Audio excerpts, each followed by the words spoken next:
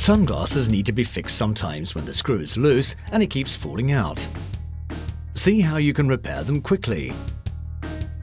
Before getting started, make sure you have some tools around, such as pliers and a screwdriver. Line up the two pieces of the hinge.